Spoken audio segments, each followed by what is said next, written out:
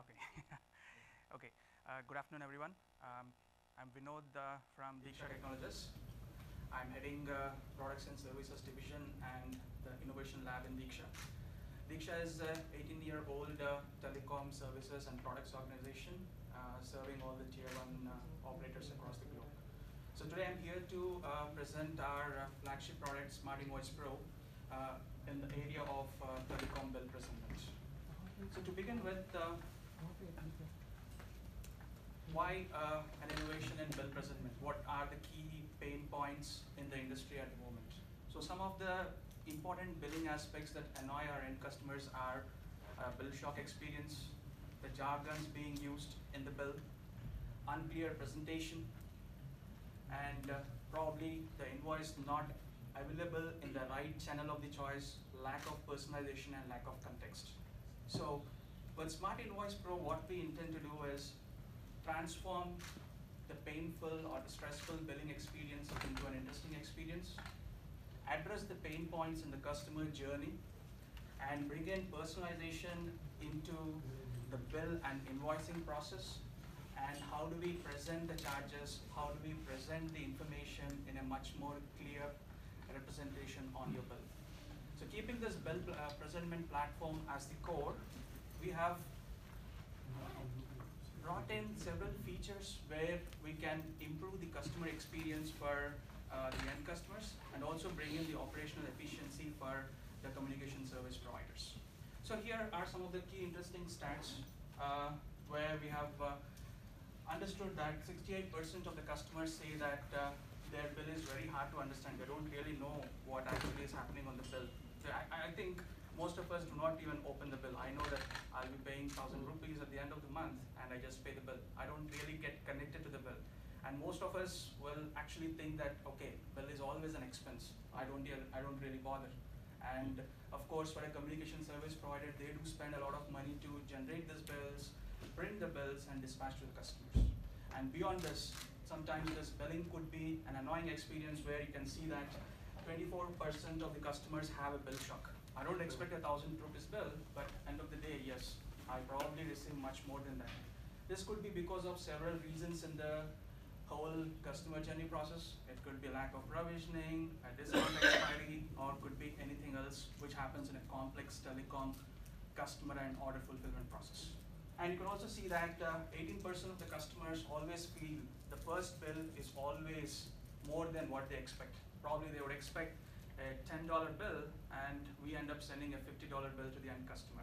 It is probably because the customer has opted much more uh, much more services than what we initially thought or there are some hidden expenses or there could be any other use case which is contributing to a bigger or a much bigger value of uh, your first bill.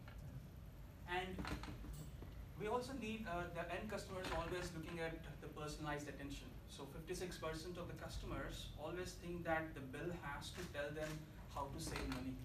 I'm having a 599 plan on my bill, and how do I actually save from it? I always spend a 599 or much more than that. But predominantly, it is also possible that they don't spend all the packs, all the freebies, all the voice and data usage that comes along with the plan. So they want a medium where they want uh, the bill or some medium to tell them that, okay, there is a way to save the money, there is a better plan, probably because let's say I'm doing, I'm on an ISD or I'm on an international roaming, and probably I really do not know there is a pack which I need to subscribe for, which will actually save lots of money. So bill is, or invoice is one of the mediums where you can connect with your end customer and tell them that, okay, yes, there are several ways of saving the money, several ways of subscribing to the various packages, and ultimately this leads to a better customer experience.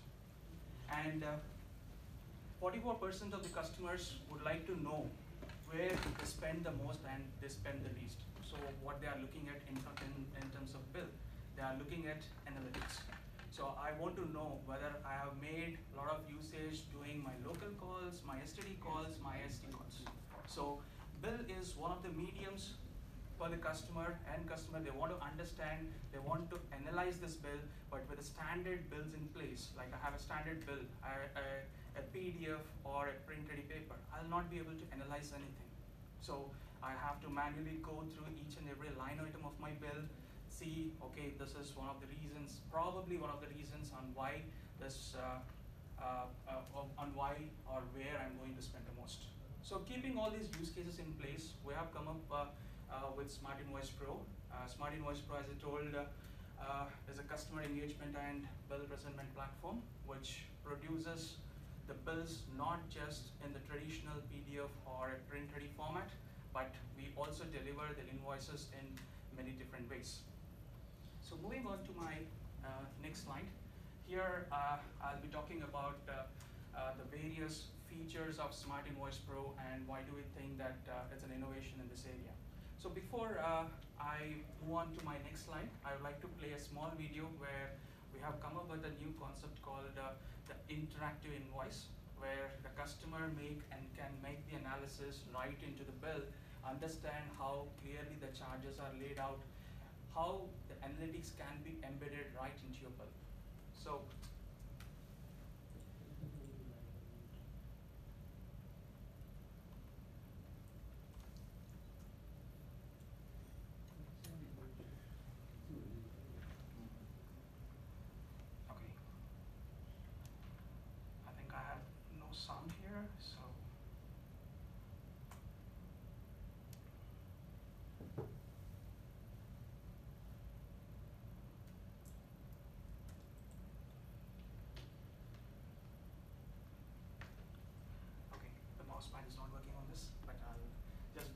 and uh, how an interactive PDF looks like.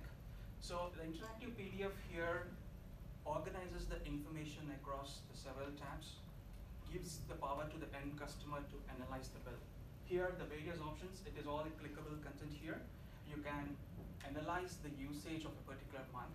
You can analyze the type of usage. You can analyze to what destination I have made the call to. I can compare the bill of current month from the previous months or X number of months.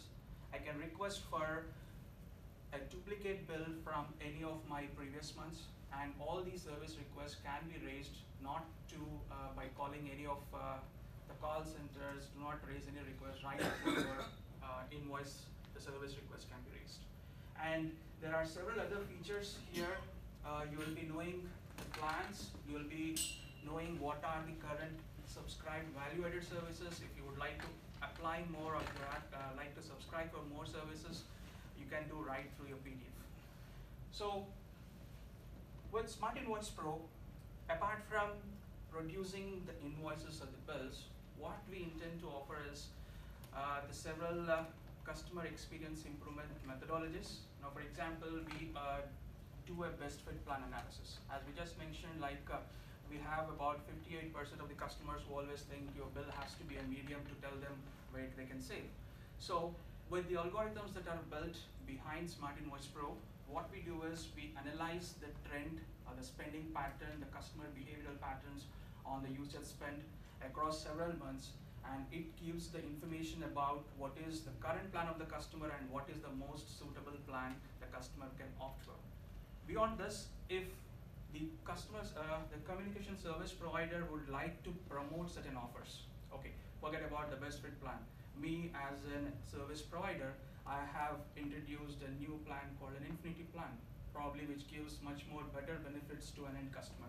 So I would like to promote this new plan through my invoice. So how do I do that? So we just configure Smart Invoice Pro to have this offer details uh, sent to the end customer through several channel, I mean, through several channels and several means as well. For example, like uh, uh, I would like to send this particular offer details to a specific set of customers, or let's say specific circles. In our case, let's say I just want to do it for Delhi circle only, or I want to do it for Karnataka. And within Karnataka, I would like to focus this offer promotion to a specific customer segment only. So Smart Invoice Pro gives uh, a, an option, a configurability or flexibility in terms of configuration where you can actually do a targeted promotions, uh, targeted offers to your end customers. So uh, beyond this, uh, there are several ways to monetize here as well.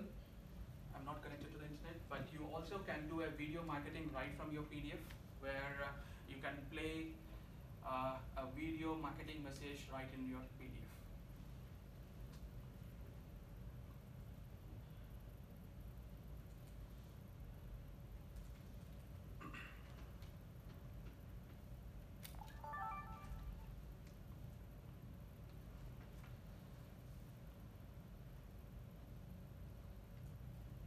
Okay. Moving on, uh, Smart Invoice Pro also produces uh, the consolidated bills. In a classic example of uh, service providers, uh, it has been a classic legacy issue where uh, you see the operators uh, operating through several system stacks. Let's say they are providing the mobile services, you have a different set of applications, different set of system stack. You have the broadband and fixed line services, you have a different system stack, whether same version or a different set of applications. So as an end customer, I would receive or I would end up receiving two bills instead of one. So I have services subscribed from one single service provider, I would end up receiving two bills. So why would the customer want this? So with Smart Invoice Pro, with our approach, we can consolidate the bills which are generated from two different applications or two different sources. That is one of the key advantages of using bill consolidation. Beyond this, the flexibility that we offer to the uh, end customer, like for example, uh, uh, in countries like New Zealand, where predominantly people work on weekly wages, they want to manage their, their bills better. As an operator, I want bill consolidation to be done. However, as an end customer, I don't want my bills to be consolidated. So Smart Invoice Pro, it, actually gives the power to the end customer where you can make the choice through our self-care microsites actually overcome the consolidation which was enforced by the operator. And uh, the next way of uh, the communication of the bill is uh, a new way of communication called a video bill.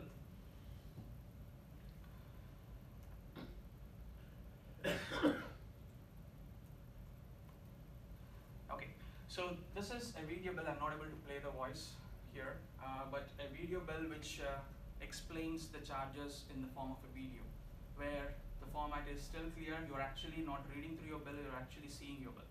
So this particular bill explains uh, very crystal clear, detailed information where you say where are my charges and how are how much charges are spent on broadband services, how many on mobile, and how many on different uh, kinds of services. So it also gives you a summary information and uh, annotated video where you can actually have the clicks right from your video which will uh, redirect to uh, uh, your payment gate results. And uh, the other innovation which uh, I was talking about is uh, integration to the voice-based assistants. So it would have been really good if it could have been, uh, I could have, is there a possibility we can play the voice? No? Okay. So what we have done is uh, with our microservices enabled architecture, we were able to integrate uh, our services, our bill services right to your Alexa device, Alexa and of course Google Home as well, where uh, you ask Alexa what is your bill, it actually reads out uh, the current month's balance. You can actually, we have actually built the whole conversation and brought the interactivity uh, with Alexa as well. So we are currently working on uh, enabling the options for uh, uh, making the payment through Amazon Pay, which is currently in progress.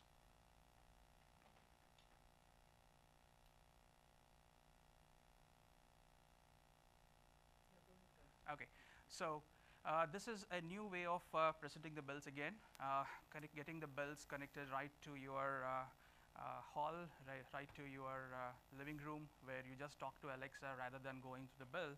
You talk to Alexa and tell what's my bill, when is my due date, and how do I make a payment. That's me.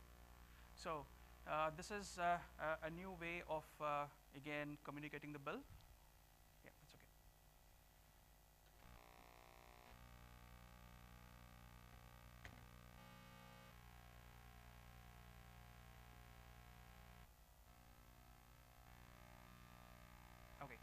So we also have the uh, microsite, uh, self-care microsite, which comes out of the box uh, from uh, Smart Invoice Pro, where every service enabled. We have the bots uh, built into uh, into Smart Invoice Pro, where customer can communicate about everything and anything related to the bill.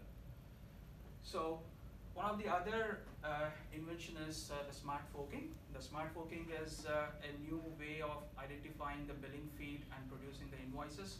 With the smart invoice, uh, uh, with smart forking in place, uh, we are able to process data up to 4 GB per minute, which is the, probably the fastest in this world. we have successfully implemented the solution for Bharti Airtel across all the lines of business and we were able to successfully break down uh, the processing SLAs by 70%. Uh, so uh, this is about the smart forking. So it's just a summary about various various points that we have discussed. So we call the Smart Invoice Pro the smarter, faster, and the better product, which according to TM Forum uh, Digital Transformation Tracker Survey 2, so there are three key focus areas. How do we improve the customer experience? How do we improve the operational efficiency? And how do we uh, improve the new revenue streams, identify the new revenue streams? So Smart Invoice Pro is a digital product uh, which will help the service providers in their digital transformation journey. So I see the time's up. So.